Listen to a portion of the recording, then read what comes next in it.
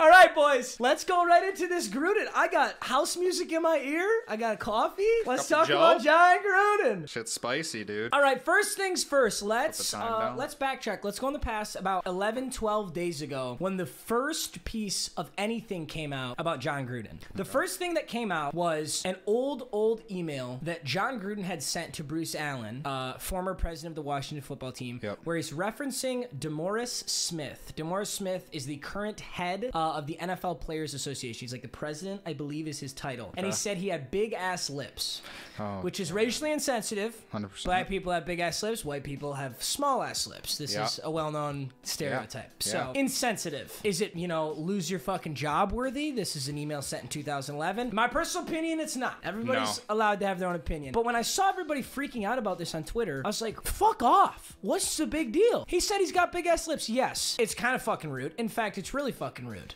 Mm-hmm. But oh my god, I've seen a hell of a lot worse. This man should not be fired for an email from 10 years ago. Also, given that it's an email made in private. So that's all I'll say on that. Now, the first thing I don't understand is I guess the question nobody really is asking the media right now is where did the email come from? How do, who has access to this That's what? I don't understand. How did it get leaked? And the answer to that question is ironically, it all came about from an internal investigation waged against the Washington football team from a lot of former employees, mainly women, who really believed they were basically Yeah. a, a lot of the people there's a lot the of stuff organization. yes, going on with huge. Washington football team. All last Still year. is. Yeah. Still is. Like uh, mistreatment of employees, Right. mistreatment of females, misogynistic sexual harassment workplace. Yep. Um, the classic NFL stuff. Classic NFL It's stuff. so tough too because I mean, I, girls. I feel like when if they say something, especially like that, like m- sexual misconduct, they're they're up here and the guys down here. Whereas if, if a guy said that, it's still the same. I would think. Yeah, I like see what you mean. people believing who, and it's like if you have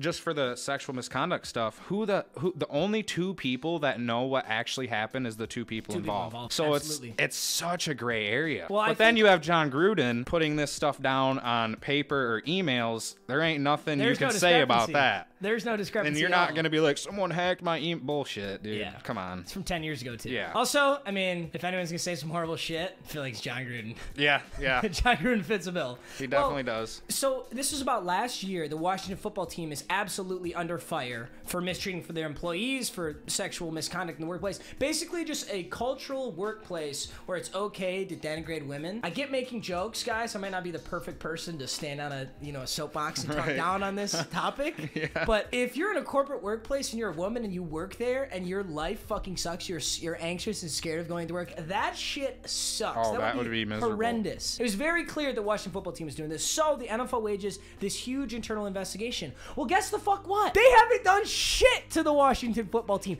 There hasn't even been a formal written record of what they discovered in their investigation. After an investigation's Really? done and they've concluded things, this is a year ago. They haven't gotten anything. Damn. Nothing. No formal written report, no record, no reprimanding. I think there was monetary fines, but nothing happened. Wow. The only thing thus far that has come out of that investigation is Jon Gruden's leaked emails. Damn, I because didn't know that. Jon Gruden was corresponding emails to Bruce Allen, the former president of the Washington football team, Right. and that's how they got this stuff. In total, there are 650,000 emails that have been uncovered and looked through by the organization that was conducting this investigation. And out of that, all that we have is Jon Gruden's emails. Additionally, I want to know, and this question is yet to be answered, how fucking long have they had these emails? Right. That is Are- so were they just waiting? Uh, was somebody just waiting to wave a gigantic blackmail flag over Jon Gruden? Yeah. This entire time has Jon Gruden known about this? It literally started a year ago. So unless you just now, literally a year later, have finally gotten to the to-do list part of your job, which is fucking looking through the emails, Right. and you just now see this thing about Jon Gruden, and Mm-hmm. you just now take action, I think they've had this for a long time.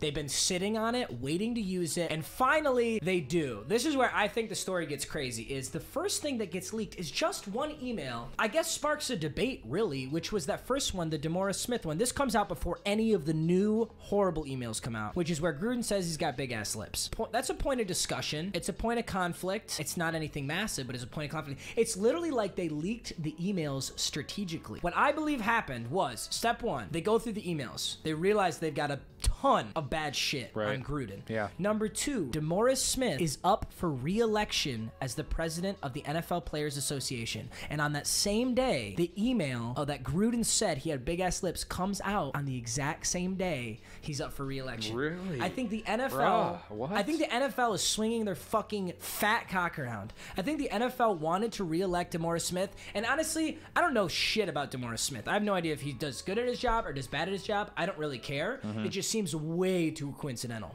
So I think NFL's got all this firepower against Gruden, and they do this. They drop the first email to bolster DeMaurice Smith's position as getting reelected for the NF- head of the NFL Players Association, and I also think it was a friendly nudge to Gruden. That's what I think. I think they were hoping they would push this email out and basically say to Gruden, Gruden, you know what you fucking said in these emails? Right. Step down. So you were thinking they were trying to make him. I think they were trying to get him to quietly resign. Right. I think they were bef- being nice before they had to like send out the yeah, rest. and I mean, I mean, if the if if you believe in the theory that Gruden's not the only super closeted racist, homophobic, etc., cetera, et cetera, in the NFL, which I definitely fucking believe in. Oh, yeah. Uh, I think they were like, dude. We like you. You're on a massive contract. Quietly resign because of this DeMaurice Smith thing. It's a hell of a lot worse than what we've got in our back fucking pocket. Mm-hmm. And Gruden said, "Fuck you.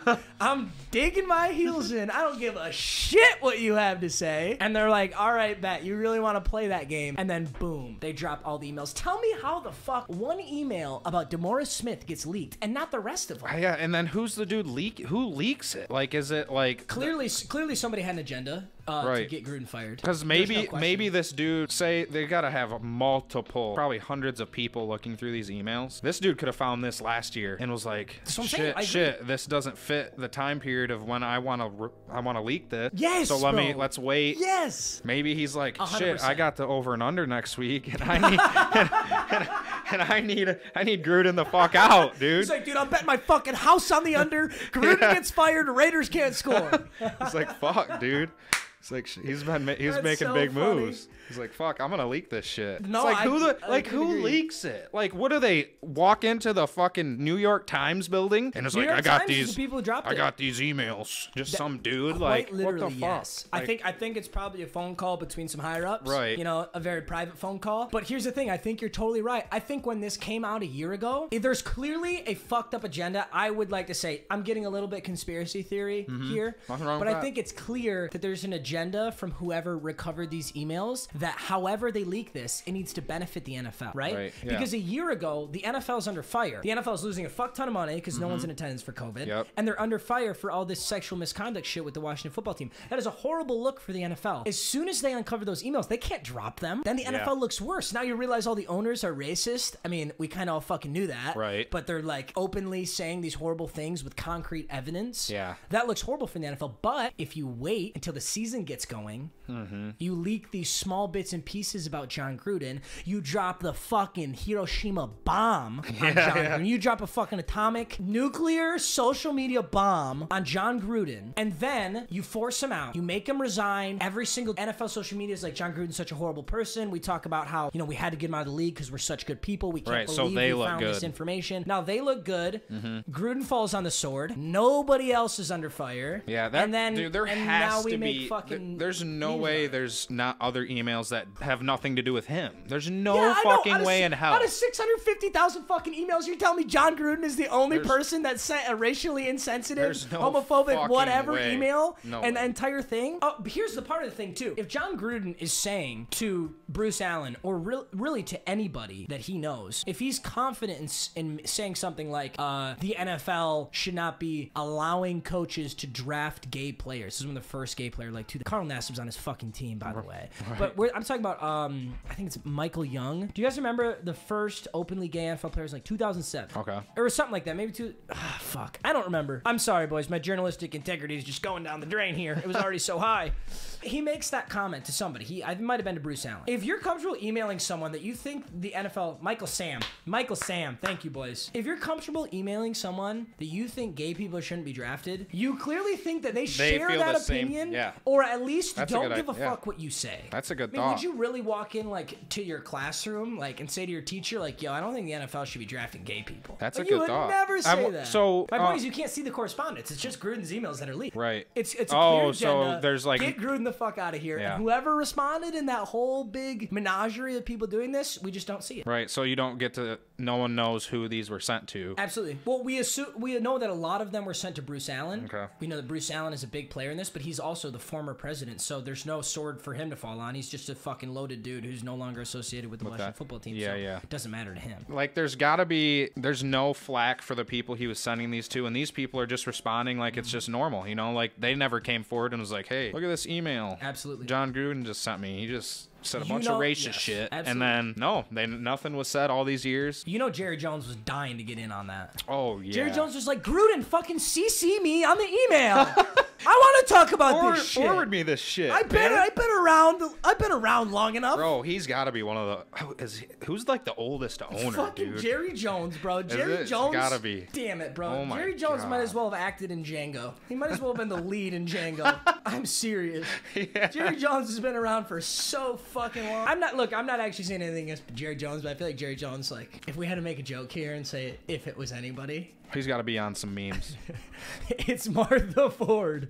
Martha Ford probably wants in on that shit too. I wouldn't be shocked, bro. Yeah, I mean, listen, there's nothing inherently racist about being super old, but I mean, just imagine the amount of social change you've seen in your life if you're like 80 Oh, plus years well, old. Well, and You've being at so their think about their status too, how fucking loaded they are. So that just puts them people like that that have been loaded for so long. They're just Absolutely. way like their heads fucked up. Like Let they just, just- don't. yeah. They don't know. I don't know how to explain it. They just Well, they've learned so much. At some point, you want to stop adapting. right, I- and I they don't go. They're they're not. They don't live a normal life anymore. I mean, No, absolutely. Like it's What I'm gonna Oh do my right now, I just want to top off my conspiracy theory here about the Jon Gruden stuff. I know we're bouncing all over the place, me and you are, Chase, with this Jon Gruden stuff, just Yeah. because there's literally so much. But to top it off, there are the facts, and then there's my conspiracy theory. Right now, I kind of want to go into the conspiracy Mm-hmm. theory part. So the facts are: first email is leaked about DeMaurice Smith. About a week later, the full-fledged bomb of emails comes out. Yeah. Gruden resigns because it's horrible. Uh, Mike Davis, I think Raiders owner, Raiders owner, is making statements. It's very clear that Gruden is getting shuffled out of the NFL. Everyone's taking a firm stance against it. Even Madden has now taken Gruden out of the game. really. It's like Ray Rice. Do you Wow. remember halfback number Yeah. 25 in Madden Mobile? Yeah. Was when Ray Rice Wow. got his allegations. So they're taking Gruden out. These are the facts. My conspiracy theory is one of two things. Number one, they have had the access to these emails for over six months. At the very least, they have known about this. They just wanted to drop it at the right time that would benefit the NFL. Any of this happening doesn't benefit the NFL. Mm-hmm. It still sucks. Yeah. But at least this way, the NFL can say they're phasing out, they're taking a stance, they're Right. shooting for Gruden to get out. I do not believe that there's been a year long investigation against the Washington football team and they just stumbled upon these emails just now. There's no I don't believe way. that for a second. There's no way. Also, if that's the case, show me all 650,000 emails. I want to know everything about every single owner. I want to see this shit get ripped There's apart. yeah. There's no shot. There ain't anything else in those Like, emails. what the fuck There's are the other no emails way. about then? There's, no, way. If There's Gruden no is fucking way. brazenly saying this stuff just on email, Mm-hmm. there's so much more. I think that leads into the second half of this conspiracy theory, which is number one, the email about DeMaurice Smith was sent out so that Gruden would resign. He didn't because he's Jon Gruden. Yep. Uh, digs in his heels and then they drop the atomic bomb on him. The next part of that conspiracy theory is I think Gruden is falling on the sword, so to speak. I think Gruden right now is taking a dive, not at his own willpower. Right. It's not like they said, Gruden, bro, just take the heat for this so all the other owners can be Yeah, good. yeah. They said somebody needs to get fucked here because we have 650,000 emails of horrible, horrible shit. And somebody needs to go down, but we can't crumble this entire organization. And quite frankly, I don't think Gruden's one of the most powerful people out of all those. The owners have so much money. I mean, who can fight against Jerry Jones, for example? His pockets run so deep Oh, that man can do anything. Unlimited money. Okay, so I hate to keep throwing Jerry Jones in here. I, I don't know that there's anything bad about Jerry Jones. He could be an incredible guy. So I hate to say that. It's just a really good example. Yes, yeah, he fits the mold. He does fit the bill. For being honest. So to top that conspiracy theory off, I think it's just so evidently clear that Urban Meyer leaked Jon Gruden's emails. One hundred percent. No, actually, Joe, Joe Burrow, bro. Hello? Hello, Goodell? Leak the emails.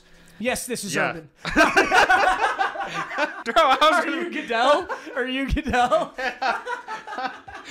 bro, we can't, we wouldn't, we can't keep a fucking straight face. I just fucking. Holy fuck, bro. Oh my Oh god. my. Holy shit. Honestly, Joe Burrow made Jon Gruden send those emails. Joe Burrow, when he was 11 years old, pissed off Gruden at football camp somehow, and it just forced him to say those things. But I genuinely believe at, at the bottom of my heart that um, there is so much more to these emails. They're never going to get released. Yeah. I think uh, Gruden is taking the fall so that media-wise, somebody got punished, something got leaked from the football team investigation. All's well that ends well. You kick Gruden out, you can say your investigation was successful, and you don't even have to dive into the gigantic plethora of horrible shit that's out there. Yeah, what I mean, think. there's no fucking shot there ain't something else in there Mm-hmm. that should be coming out. It's crazy. Or bro. they're just brushing it under the rug and Oh, never talk it. about They're it. sweeping it under the rug. Never talk about it again. I don't think. This shit will ever get talked about again. I think we're gonna ride the Gruden meme wave. Uh, we're gonna ride the Urban Meyer meme wave. Yeah. And and I think two three weeks from now we don't talk about this again, which is crazy. Yeah, and that is. honestly, we should even come back to it. I would love to see. We should, yeah, update. we should just yeah update because I don't think there's out. gonna be an update. Right. I think sadly there won't be.